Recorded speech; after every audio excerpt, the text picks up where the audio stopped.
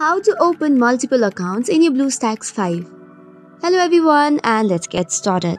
So if you want to use multiple accounts in BlueStacks 5, it provides you with multiple instances that you can create on BlueStacks 5 on your Windows. So for this, you have to first open your BlueStacks 5's multi-instance.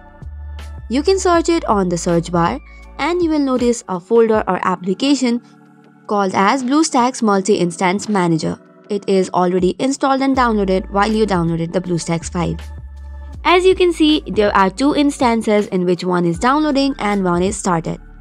So this is my current app player which is one instance and another is still downloading. To create a new instance, you have to click on the instance button on the bottom left. However, it cannot be created while another file is being downloaded, so you can simply cross it and start with a new download. So for that, click on instance and then click on fresh instance or clone instance. After that, you can choose your Android version and then click on next.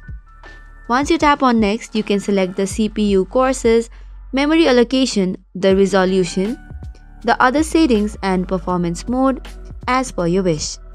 And once this is all done, you can simply tap on the create button.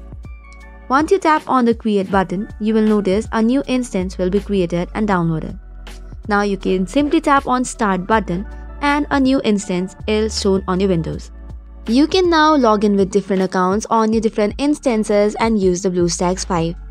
Hopefully this was a helpful tutorial and for more such contents do not forget to hit the like and subscribe button. Thank you and keep watching.